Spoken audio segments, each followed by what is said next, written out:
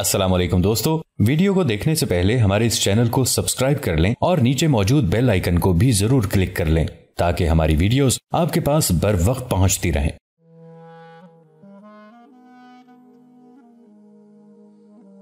और शहर के नवाह में एक नाले के किनारे नरसल नए और झाव के घने झुंड के अंदर ढली हुई उम्र का एक शख्स खून में लथपथ पड़ा हुआ था। ऐसे लगता था, लम्हा बलम्हा उस पर नकाहत तारी हो रही हो। जिसके बायस वो थोड़ी देर के लिए आँखें बंद कर लेता था। दोबारा शायद ज़िंदगी के सफ़र को बरकरार रखने के लिए आँखें खोलकर इधर उधर देखने लगता था। अचानक वो चौंक पड़ा, इसलिए कि उसके कानों में एक सदा पड़ी थी। कोई कुरान मुकद्दस की तिलावत कर रहा था, और तिलावत करने का अंदाज ऐसा मोह लेने वाला था कि खून में लथपथ उस जख्मी को ऐसे लगा, जैसे गर्म बयाबानों की रेग में रुमूज कुन फयाकून और जबान वही की पुकार की तरह इत्तसाल अबूदियत और अबूदियत, दिलों का तिरयाक और आँखों का मरहम बनकर उठ खड़ा हुआ हो। सरकंडों के झुंड में पड़ा वो जख्मी नसरानी लगता था, इसलिए कि उसके गले में सुनहरी सलीब लटक रही थी। उस आवाज़ पर वो चौंका था। आवाज़ लम्हा भर के लिए खामोश रही। बूढ़ा बेचैन हो गया। वो शायद फिर उसी आवाज़ को सुनने का मुतमनी था। यहाँ तक कि आवाज़ पहली की नस्बत ज़्यादा पुरजोश होकर और करीब से इस तरह सुनाई दी गोया जहाँ का कोई मुअल्लिम गैब शहूद के संगम पर खड़े होकर फुसुं खेज चांदनी की तरह नगार खाना कुन में खैर मेहर की जियाओ जमजमा हमत व इदराक के गौहर और फहमो इस्तबसार की सदाएँ बुलंद करने का अज़्म कर चुका हो। बूढ़े के लबों पर हल्का सा तबस्सुम नमूदार हुआ। शायद उस जंगल में उसे उम्मीद न थी कि कोई उसकी मदद के लिए आएगा और तिलावत करने वाले की आवाज़ ने उसके दिल में ज़िंदा रहने का जज्बा पैदा कर दिया था। जो शख्स कुरान मुकदस की तिलावत करते हुए करीब आ रहा था, उसकी आवाज़ थोड़ी खामोश रहने के बाद दोबारा कुछ इस तरह बुलंद हुई, जैसे लैले मुजलिम में नूर बख्श शहर दिलों के हरीम गुंबद में रोशनी के किलबिलाते सवेरे, सहरा की कोक में सरगर्दा बांझ सातों के अंदर तखलीक की अहम तरीन कदरें और तीरगी के सहरा में, नूर की कश्तियों में आइनों के सागर और उजालों की शम्में अपनी मौजूदगी का रंग दिखाने के लिए उठ खड़ी हूँ। बूढ़े ने जब महसूस किया कि तिलावत करने वाला उसके पास से गुजरकर आगे निकल जाने वाला है, तब उसने अपनी पूरी कुत और ताकत को मुजतमे किया और मजरूह सी आवाज़ में उसने मदद के लिए पुकारा। तिलावत करने वाले की आवाज़ सुनाई देनी बंद हो गई थी। फिर सरकंडों के झुंड में पड़े उस जख्मी बूढ़े ने महसूस किया, जैसे एक नहीं कई लोग अपने घोड़ों को दौड़ाते हुए उसकी तरफ़ आ रहे हों। रात का आंचल सिमट चुका था। चारों तरफ़ सुबह का दामन फैलना शुरू हो चुका था।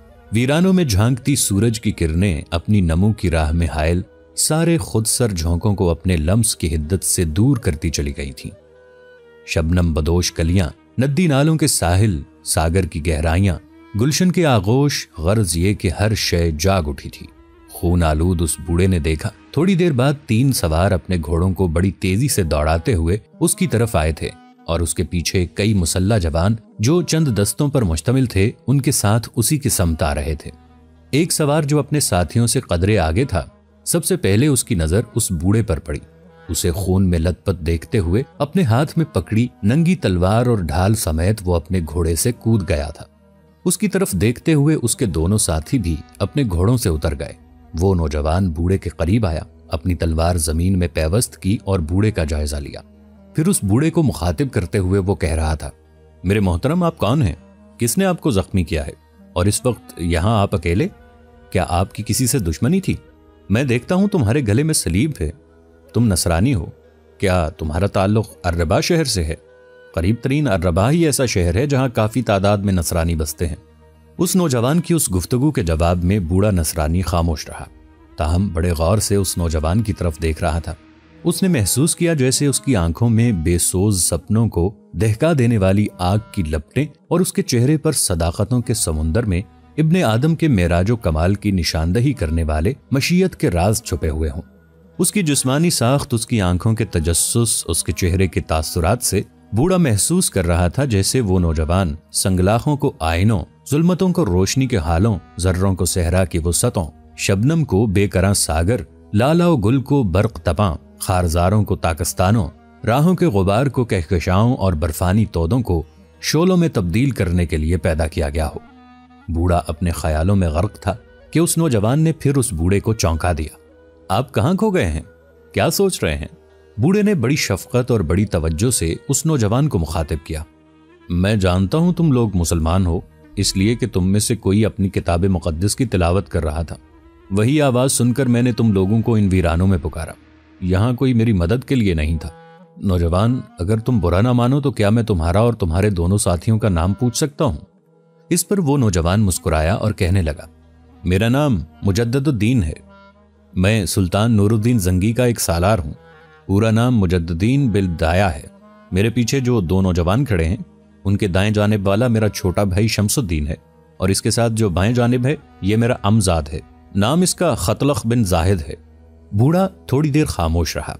लगता था वो उस नौजवान की बातों से जिसने अपना नाम मुजद्दीन बताया था मुतमिन हो गया था। फिर कहने लगा, अज़ीज़, मेरा नाम कार्लोस है। फ्रांस के शहर वेजली का रहने वाला हूँ। इन इलाकों की तरफ़ कैसे आया ये एक लंबी और दुख भरी दास्तान है। मेरे साथ मेरी तीन बेटियाँ, दो बेटे और एक बीवी भी थी।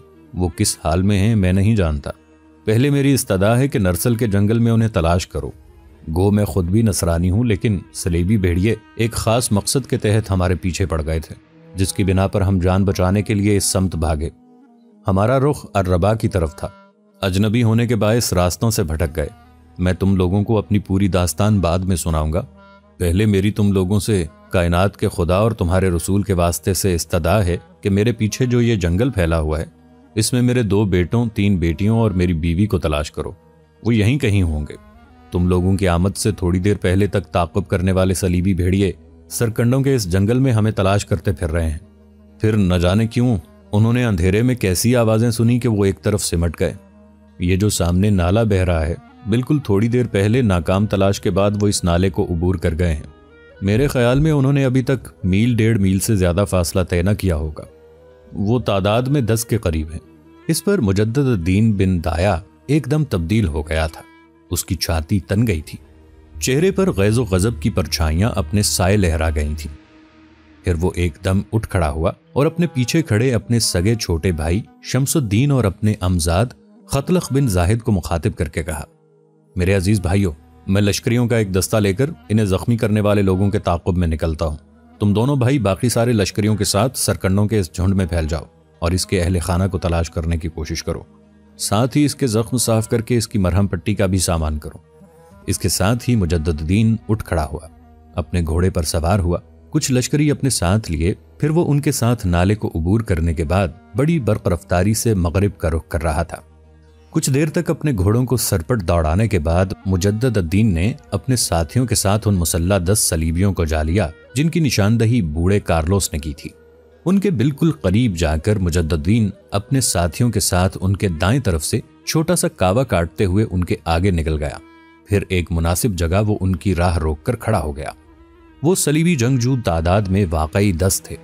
मुजद्दीन ने जब अपने साथियों के साथ उनकी राह रोकी, तब उनमें से एक, जो शायद उनका सरखेल था, उसको मुखातिब करते हुए कहने लगा, तुम्हारी हालत से लगता है कि तुम मुसलमान हो और हमारे दर पे हो। मैं तुम्हें तंबीह करता हूँ कि हमें हमारी मंजिल की तरफ़ निकल जाने दो। अगर तुम लोगों ने हमारी राह रोकी तो याद रखना। अपने लिए रहम मादर से तारीख समो और अंधेरी लहद की उदासी और गमगीनी को आवाज़ दोगे। अगर हमारा कहा नहीं मानोगे तो याद रखना, हमारी नफरतों, हमारी गजब को और बढ़ाओगे। और फिर जब हम तुम्हारे खिलाफ हरकत में आएँगे तो तुम्हें बेकार असातीर कवानीन कवायद और फरसूदा कदीम रस्मों और कोहना रिवायात की तरह रौनते चले जाएँगे। कहने वाला लम्हा भर के लिए रुका, फिर वो दोबारा कह रहा था, याद रखो हम अपने वतन से दूर, परदेसी ही सही। मगर तुम्हारी इन सरजमीनों में भी समावी नेमतें, खुदा की बरकतें हमारे साथ हैं। हम लोग सलीबी नाइट हैं। हम घोड़ों की टापों, काबों की फरफड़ाहट और दरिंदों की दरिंदगी में पलकर जवान होते हैं।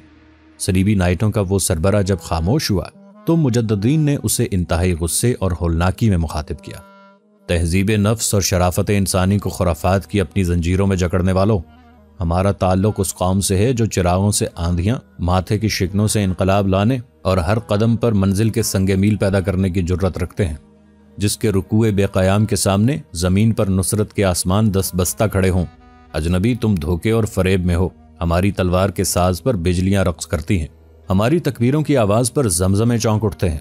हम जब अपने दुश्मनों के खिलाफ हरकत में आते हैं तो याद रखना, आंधियाँ अपने दोष पर दिए जलाती हैं।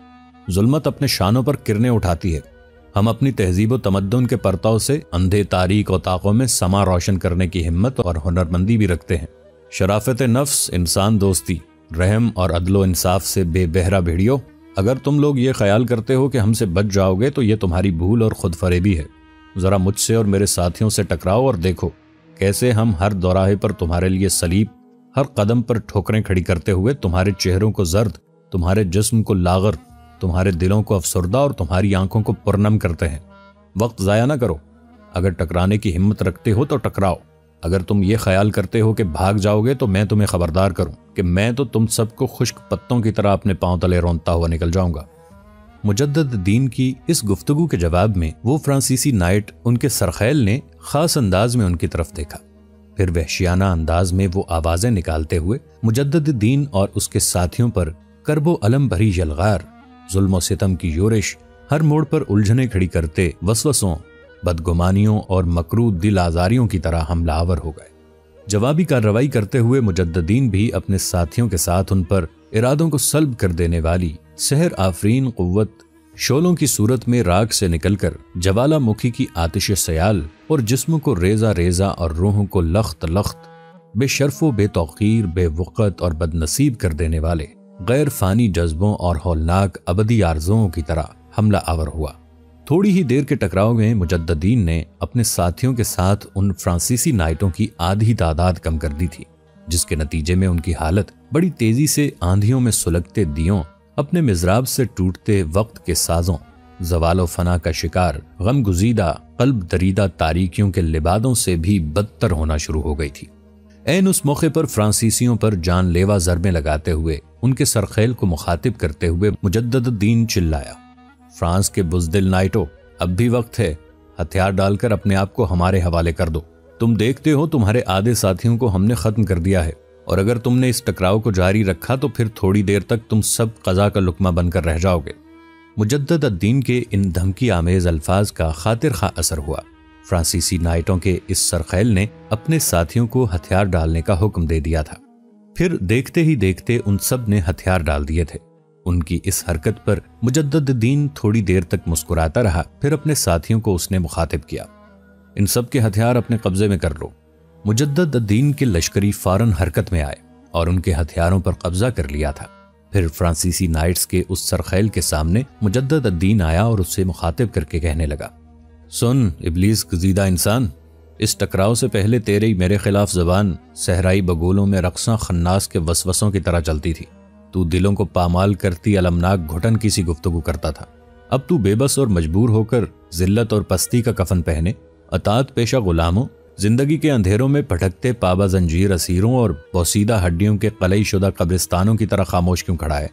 पहले तो तू हमारे लोहे जहन के नकूश में तीरगी के सहरा उतारने की बात करता था। अब तू शर्मिंदगी में गर्दन झुकाए, सदियों के वीरानों और बे आवाज़ और बेतूफान समुंदर की तरह चुप क्यों है? अब शिकस्त उठाने के बाद भी तू अपनी जरूरतमंदी और अपनी दलेरी के लिए कुछ अल्फाज इस्तेमाल कर।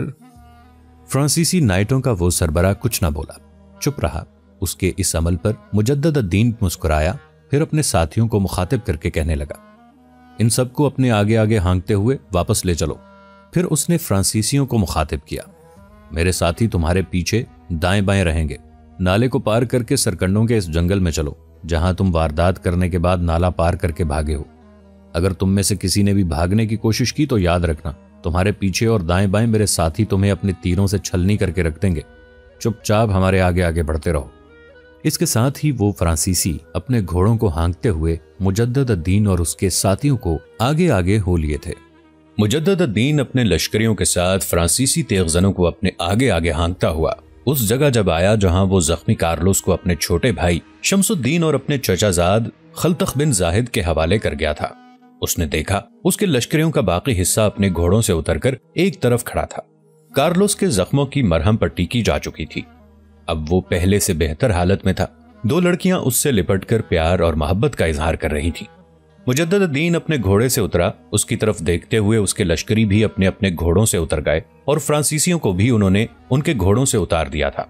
इतनी देर तक मुजद्दीन आगे बढ़ा। कार्लोस के करीब हुआ और उससे मुखातिब होकर कहने लगा, मेरे मोहतरम, आप कैसे हैं? कार्लोस ने इस बार कदरे पुरसकून अंदाज में कहना शुरू किया, मेरे अज़ीज़, आपके इन दोनों भाइयों ने मेरा बेहतरीन ख्याल रखा है। आपके इन दस्तों के अंदर जो तिब के काम में माहिर हैं, उन्होंने मेरे जख्मों की बेहतरीन देखभाल की है। अब मैं समझता हूँ मैं बच गया हूँ। आपके हालात तो पूरी तरह आपके भाई ने मुझे बताए नहीं। इतना ही तारुफ कराया है कि आप नूरुद्दीन जंगी के बेहतरीन सालारों में से हैं। कार्लोस इससे आगे कुछ न कह सका, इसलिए कि इंतहाई संजीदगी में मुजद्दीन ने उसकी बात काट दी। मैं कुछ भी नहीं हूँ। मैं सुल्तान नूरुद्दीन जंगी के लश्कर का एक आम सा अस्करी हूँ।